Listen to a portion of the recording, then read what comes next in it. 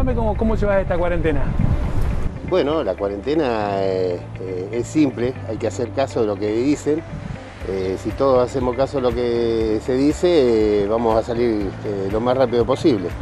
Eh, hacer lo que se puede y lo que no se puede, no. Quedarse en casa, lavarse las manos, eh, higienizarse bien y, y bueno, y llevarla lo más tranquila posible. aprovechando para trabajar adentro de la casa, eh, mirando rincones que durante el año uno nunca lo mira. Bien, el encierro es bravo, especialmente para mis hijos, pero bueno, cuidándonos lo más posible, saliendo poco y nada. Y yo, viste, la ama de casa siempre tiene cosas para hacer.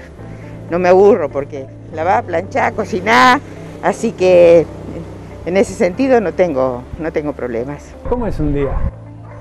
Bueno, traté de poner rutinas, levantarnos temprano, hacer tarea a la mañana porque ellos van a la mañana.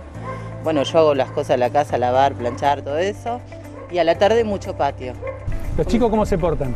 Tengo uno solo, demasiado, pero extraña el fútbol, extraña un poco la escuela, pero es difícil también para ellos. ¿Vos qué cosas extrañas?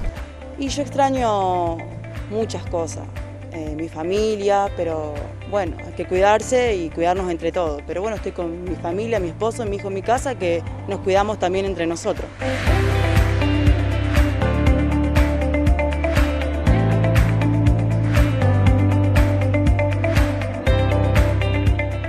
Haciendo las compras, ¿cómo encontraste los precios?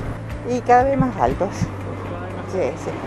La verdad que vengo una vez por semana, pero siempre están cambiados, ¿viste? No sé esto a dónde, hasta dónde vamos a llegar, pero realmente la gente que no puede comprar se le hace muy difícil. ¿Qué pensás de flexibilizar la cuarentena para la parte económica? Está bien, porque hay mucha gente que realmente necesita eh, mover, eh, mover su trabajo, pero es, va todo de la mano. Si no nos cuidamos, va a ser imposible que, que la flexibilicen. Van a ir llevándola de a poquitito. Eso es un tema, mira, en realidad, en realidad se podría porque hay gente que necesita trabajar, eh, uno entiende, pero creo que también es un, como un peligro, porque más flexibilizás, más salimos a la calle y, y más contagio hay. Pero bueno, eso es un tema que tendrán que, que ver los expertos. No, yo preferiría preservar la salud, lamentablemente. Una cosa cuesta la otra. Y yo diría que sí, porque cuidándose, yo pienso que todos los comercios podrían trabajar bien, ¿viste? Ten- respetando las medidas de los protocolos que, que nos han impuesto, me parece que sí. ¿Qué tanto te cuesta mantenerte adentro de la casa? No, no, no, no me cuesta tanto, me acostumbro, pero uno extraña eh, el salir un poco, eh, pero bueno, es cuestión de cuidarnos.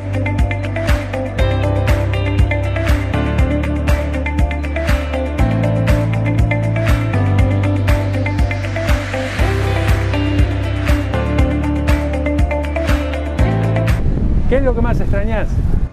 Y extrañar, bueno, eh, esas saliditas chiquitas que se hacían, yo por lo menos en mi caso de ir a la tardecita, eh, algún día en la semana, a jugar un partidito a las bochas, eh, bueno, y estar con los amigos y con la familia, que, viste, más que nada, quien tiene algún nieto, extraña en el sentido de, tenerlo, poder abrazarlo, viste, bueno, pero ya con el tiempo se va, eh, se va a terminar esto, así que, pero debemos ir todo de la mano. Si pudieras darle un abrazo a alguien hoy, ¿a quién le darías un abrazo? Y a mis nietas, ¿Cómo se llaman tus nietas? Francesca y Juana. Hace mucho que no las ves. Y las vi el otro día, ¿viste? Porque ya ellas no aguantaban más y bueno, me las trajeron un ratito, pero así de, de contrabando, como quien dice.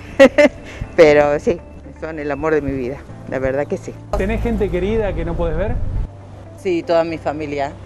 Yo no soy de acá, entonces eh, tengo parientes acá, pero más lejanos. Digamos, mis hermanos no están acá. Y bueno, con ellos hablo todos los días. ¿A quién le mandarías un saludo o un abrazo? A mis hermanos, ¿Cómo se llaman tus hermanos? Corina y Germán. Bueno, yo tengo mi mamá, gracias a Dios, es una persona grande y la veo todos los días porque le- está a mi cargo. Y bueno, esa, eh, la distancia es lo que nos mantiene, pero eh, a mi madre sería la primera que le tendría que dar un abrazo.